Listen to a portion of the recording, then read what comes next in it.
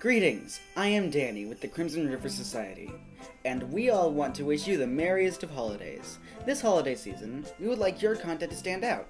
Outstanding, if you will. So, we are currently taking requests on things to do. Comment down below, or for a limited time, call the number 256 872 6943. That is 256 872 6943. Call us now and get your idea heard. It could be for a stream, a radio ad, or generally something fun to do.